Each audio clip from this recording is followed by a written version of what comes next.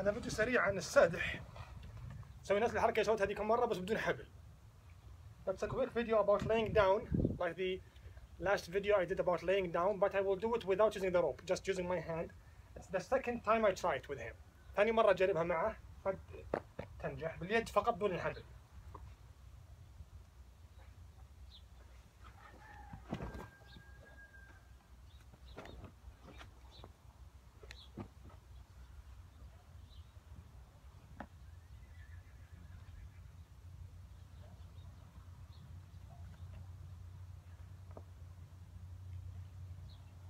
كون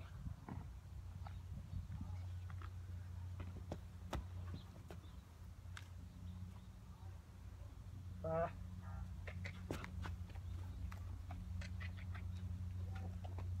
ثاني مرة أجربها مع بدون حبل second time with him without a rope and as you can see the result was amazing he did not refuse or do anything without using the whip or any other equipment or tools